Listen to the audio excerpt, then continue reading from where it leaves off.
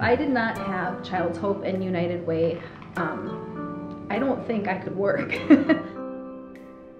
Child's Hope Learning Center is a child care center for the children that are economically disadvantaged, those that have delays that need something before and after school. I am Alicia Huck, and this is my son Asen Huck. He has a very, very rare genetic disorder called UNC80 mutation. There's only about 25 in the world that are known at this time. Asen Huck has been here for just coming up on two years now. He's a great joy to spend every single day with, so I can't imagine what it will be when he's gone to kindergarten and we don't have him anymore all day. Child's Hope has exceeded my expectations. I know they have things like United Way to help them do all that they do, and I can't say enough about how much it means to families like ours because they go above and beyond.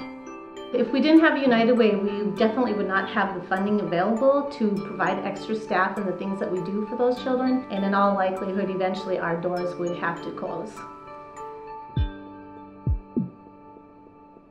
We founded TR for Heart and Soul to improve the lives of individuals with disabilities, both children and adults, utilizing therapeutic riding. United Way provides us with dollars to feed our horses, to keep this facility heated. Without United Way, we definitely wouldn't be where we are today. I am really excited and, and really happy about it too, to ride horses. My favorite part is to go around the obstacle courses and then when we um, rode to the basketball hoop, I had this roll in it. Sometimes I miss, but, but I got it. But nothing but net, right? Angie's been riding with us for about six months, and it's been really inspiring to see the confidence that Angie's gained.